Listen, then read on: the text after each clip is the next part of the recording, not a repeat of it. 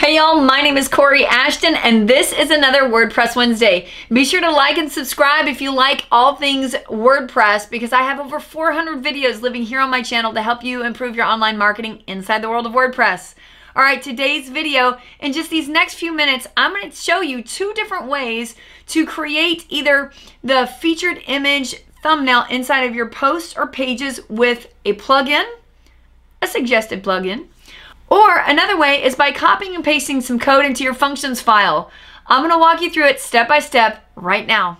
So this is the area I'm talking about. How nice would it be to have a column right here that showed you that every single one of these posts had a featured image. You can also do this on pages. As a matter of fact, back in 2018, I did this video The uh, you know great ratings it, it's uh, as of today it's been tested so be sure if but that is featured image column. And if we look at that one, unfortunately, this is the scary part about working with plugins. This one hasn't been updated for the last three major releases of WordPress. It's been three years ago since it's been updated.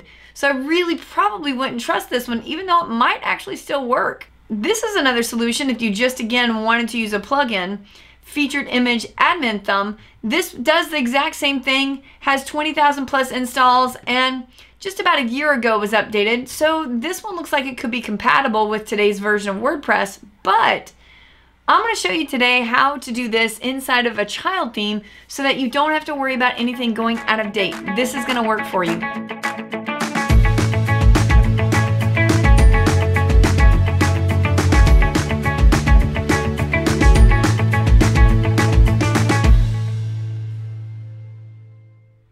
Here's the code that you're going to be using. This is just going to be a copy and paste. Don't worry about trying to read it. It's okay. All we're going to do is grab a little bit of code. We're going to copy all this onto your clipboard and we're going to go over into your functions file. Time out. You've absolutely got to have a backup of your WordPress website running right now.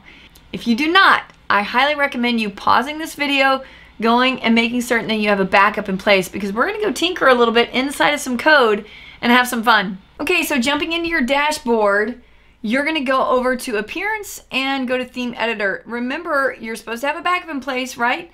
You should also more than likely have a child theme in place because we're gonna go tinker inside of your functions file. I know, sounds like a lot, but if you wanna do this in a simple way, of course you can go through the plugin.